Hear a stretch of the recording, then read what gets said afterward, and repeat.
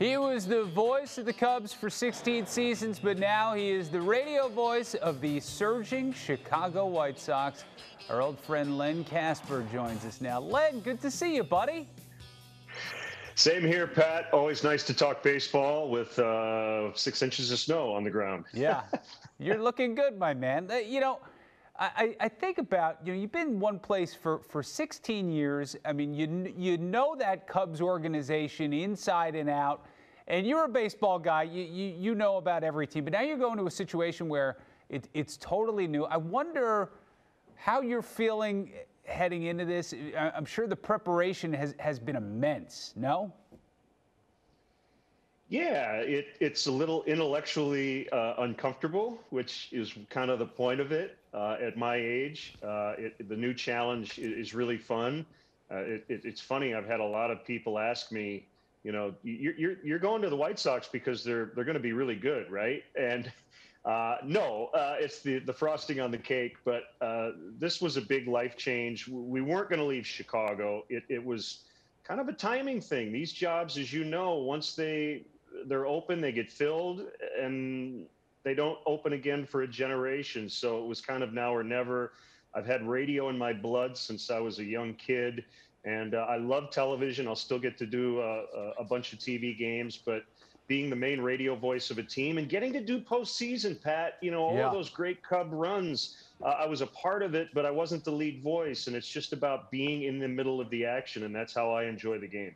Hey, have you gotten any uh, any inclination as to are they going to have you travel at all? Is it just are TV guys going to travel, radio not? How is that going to work, or is it too soon to figure all that out?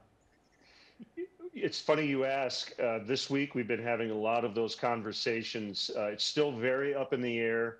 Uh, my opinion is we're always better off being where the action is. Uh, I completely understood why in 2020 uh, we didn't travel in the middle of a pandemic, but uh, hopefully, as the vaccine continues to get rolled out, uh, and I would anticipate, Pat, by opening day, whatever that date is, uh, starting to feel like it might be closer to May 1st than April 1st. We're likely to have at least some fans in every ballpark. So if that's the case, I would certainly hope we could travel.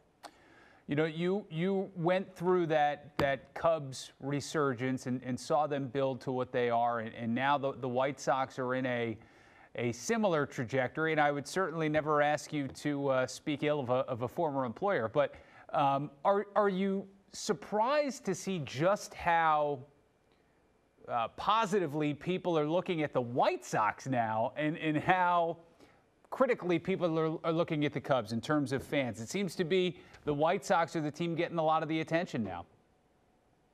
Well, the White Sox are kind of where the Cubs were around 2015 in terms of adding a few extra veteran guys to kind of fill in those missing puzzle pieces, right?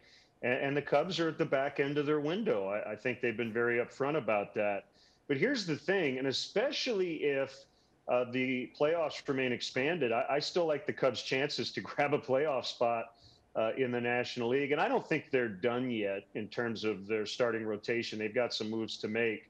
Uh, but you're right about the White Sox. Uh, they're kind of loaded for for anything that comes right now, and you know, bullpen probably one of the top two or three uh, in the majors. I think offensively, probably should finish in the top three or four in the American League.